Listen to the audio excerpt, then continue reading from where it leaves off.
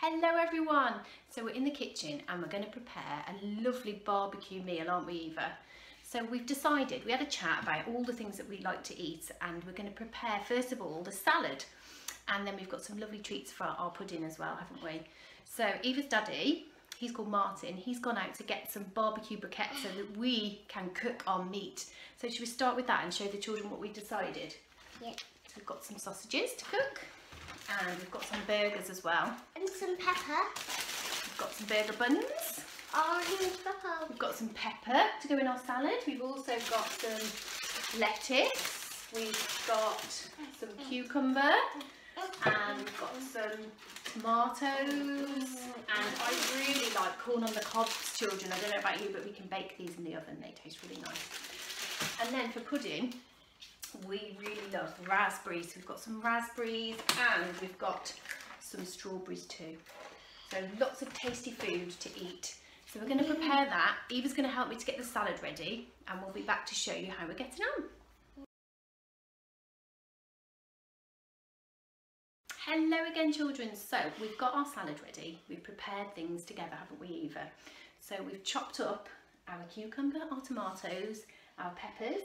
We've washed all of our vegetables, our salad vegetables, and we've um, used our colander to do that. And then Eva's doing something that's really, really tasty. Do you want to tell the children what you've done so far? I've done this, my mum told me to save.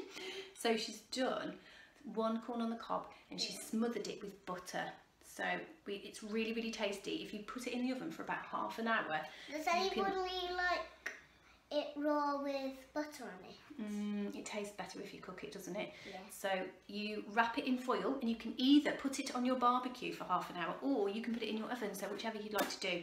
But we're going to put it in the oven today and then we're going to put our meat on the barbecue.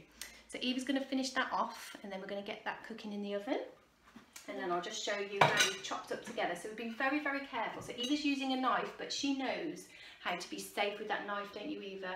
Yeah. And always, always, children, ask your grown-up to support you and to help you. So she's done this with me together. We've chopped up our cucumber and our tomatoes, and we've chopped up our pepper, and here we have our lettuce in our colander. All is been washed and ready to put together in our salad bowl. So we'll be back in a minute to show you what to do next.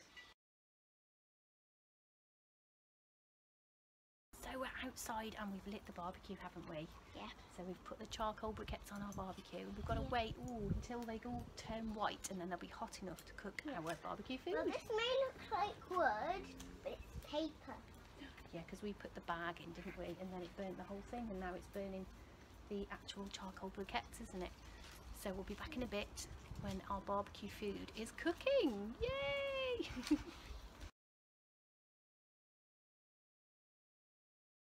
okay, so Eva's daddy is cooking up a treat on the barbecue.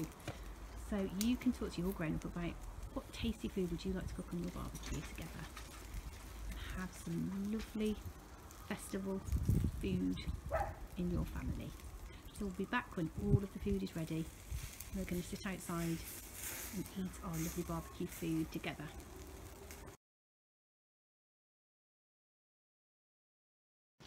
Right, so everybody, we're ready to start our barbecue, aren't we? Everything's cooked, everything's ready. We've got our salad that me and Eva prepared.